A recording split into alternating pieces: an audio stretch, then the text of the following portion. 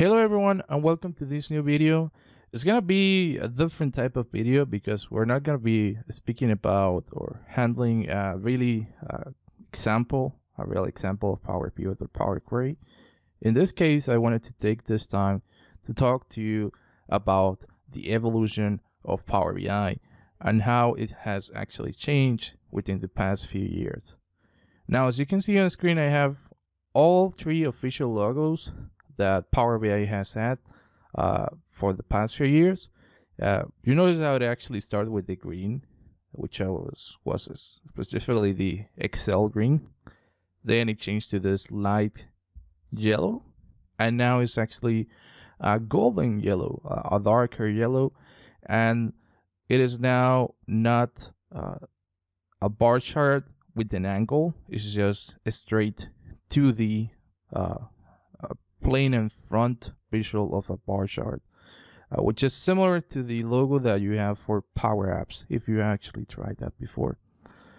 So we're not here to talk about logos, but we know we now know what they actually looked like and what is the official logo that Power BI has now.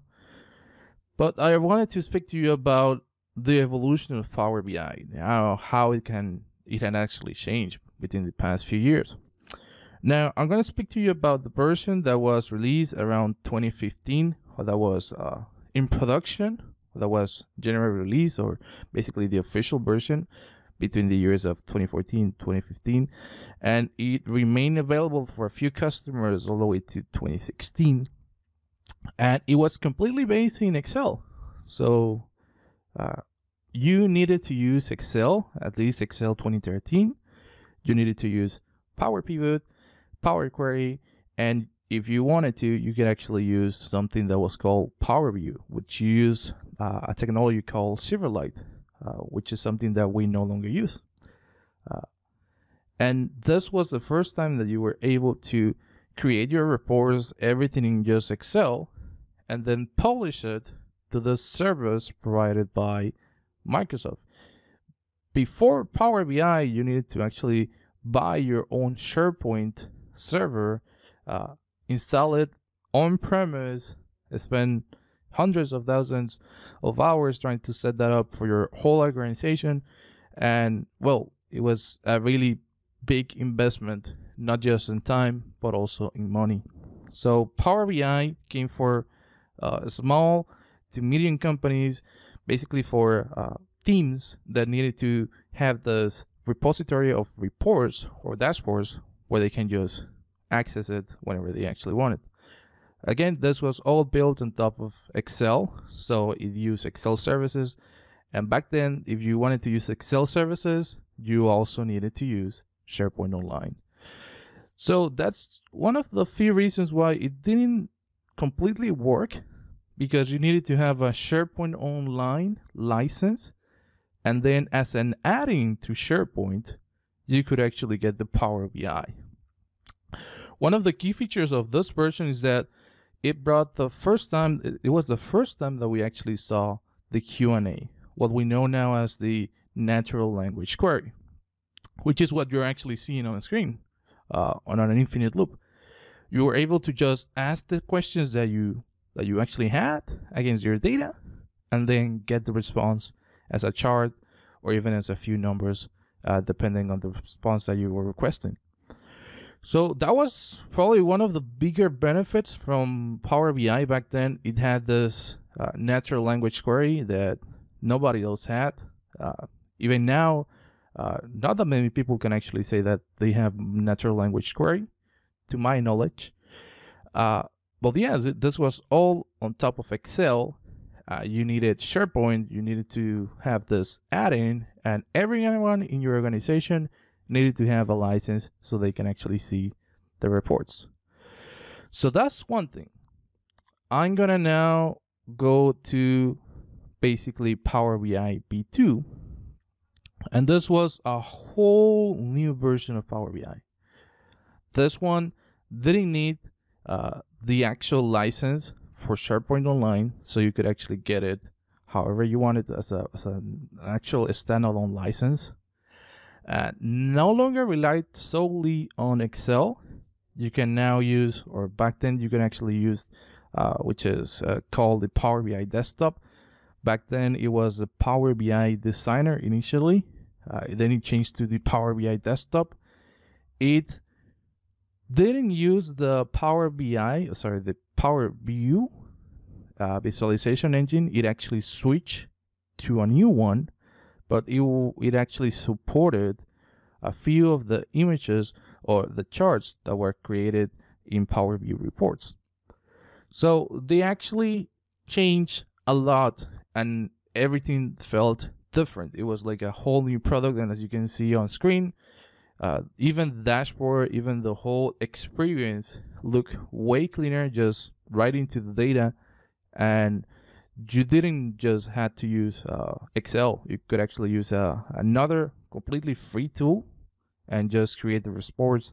And now you can actually create uh, dashboards, which is exactly what you're seeing on screen, which is different from creating the reports through the Power BI desktop. Something else that they actually added was mobile apps.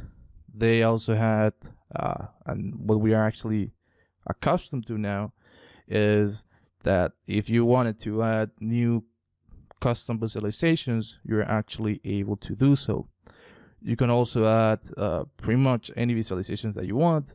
You can create uh, basically new visualizations with R.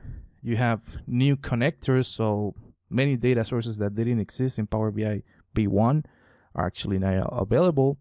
And this is more similar to what we know now as Power BI.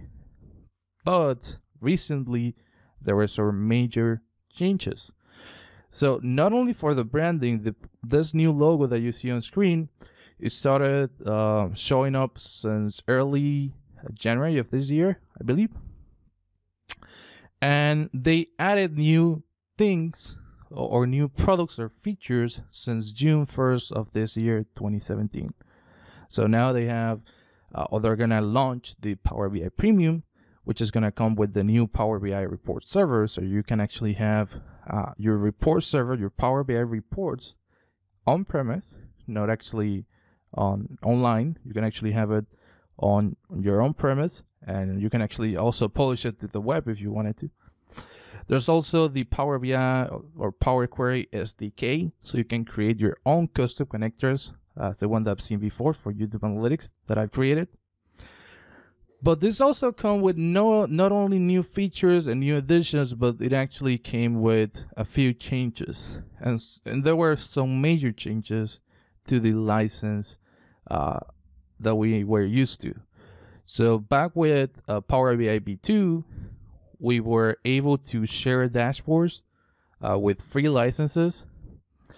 But now with the Power BI V 2.5, which is what I'm calling it, is not the official name. Uh, we are not able to uh, share dashboards if we have a Power BI free account we will need to have a Power BI Pro account so we can actually share and consume data that is being shared to us.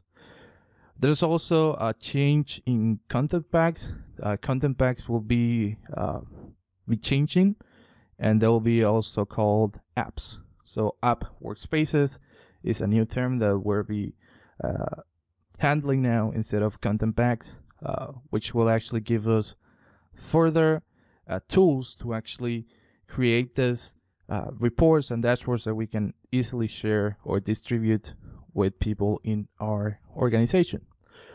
So those are the three phases that we have with Power BI. It started back with just Excel. Uh, then it changed to Excel and Power BI Desktop. And now we can have uh, way more than just uh, Power BI Desktop. Uh, we can also have analysis services. We can have direct connectivity with uh, uh, these data sources that we have. It can be actually be SQL Server, Oracle, you name it. Even if it's actually not there listed, we are now able to create our own connectors that can also be uh, we can also have direct query or direct connectivity in real time. So this is the new Power BI V 2.5. Uh, there's a lot of changes. Uh, but they're for the best. So there are new additions, and the actual changes that are, are probably more impactful were the changes to the licenses and how free users or Power BI free licenses are now no longer able to uh, share the content or consume the content that uh, was previously uh, shared with them. So that's one thing. And also, I wanted to uh, take this uh, time if you're actually in the Seattle or you're actually going to the Data Summit, you can also talk directly with the Microsoft staff about the upcoming changes because there are coming a lot of features, new features, really amazing features like incremental updates and so forth that are probably going to start with the Power BI Premium. But if we actually uh, speak to them and use the user voice that they actually have, maybe we can actually have those features as well for the Power BI Pro licenses. And maybe uh, if they will actually take in consideration creating a new type of license uh, that can actually be like a Power BI Pro Lite. But in essence, every discussion that will probably happen in the Microsoft Data Insight Summit is probably going to be around uh, Power BI and the vision or the roadmap that they're going to have for the next uh, few months. Anyway, that's going to be all for this take on the evolution of Power BI. Hopefully, I'm going to be able to update this video in a few months once we actually have new information about this current uh, stage or state of Power BI and I'll let you guys know what has changed and what new features you should be looking out for. Uh, and that's it. Thank you.